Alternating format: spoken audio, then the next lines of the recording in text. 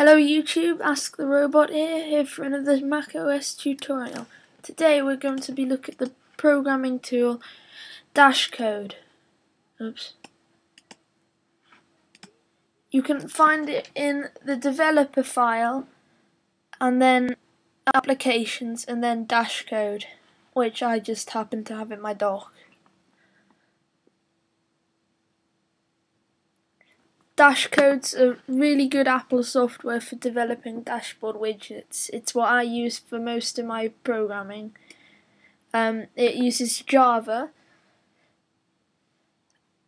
and you get all these templates to start off with. So I'm going to be showing you how to make quite a simple widget which is a countdown widget. So you can make it say countdown to your birthday so this is what you get to start with.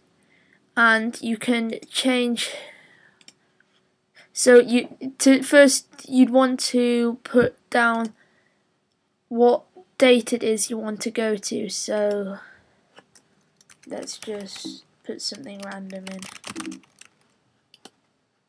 And then you'd want to go to the front and maybe mess around with the colors and stuff. And to do this you can go to inspector. And if you select this you can go to well you can click whatever color you want. So I, I like the color red but anything would work. And then Right, that looks good. You can do the same thing with text.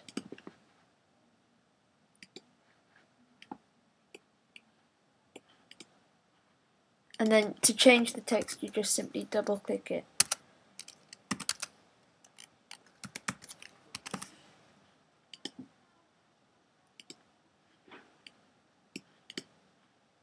You can also simply drag stuff around and resize things really easily. Oh wait. So that that's how you would resize the actual whole thing, but you can also resize little bits. And now I'm going to be showing you how to add a button on that would bring to you up a website. Right, and we're going to do this at the back. Just get rid of that.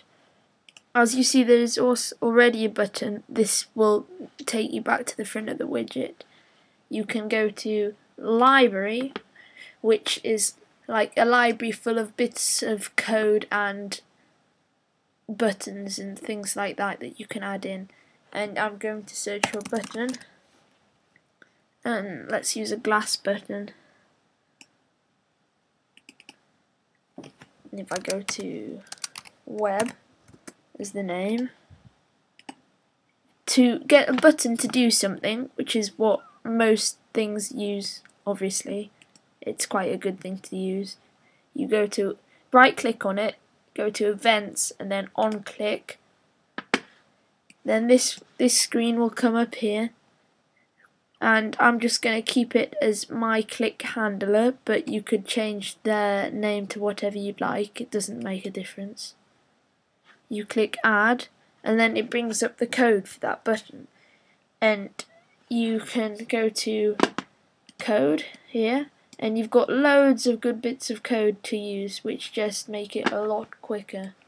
So if I just search a website um, there is already a bit of code and you can just drag it into there. And then it's really easy. You can just go to and change change this. So I'll go to ask.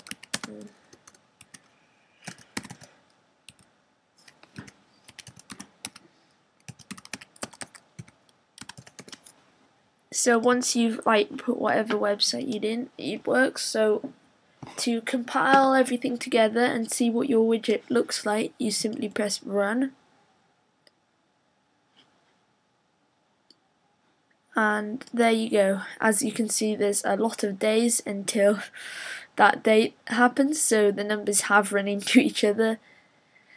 But I'm sure your birthday or whatever would be a bit closer.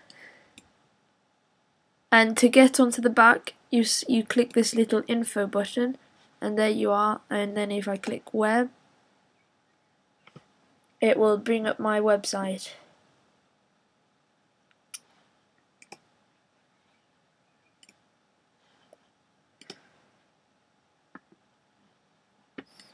Right.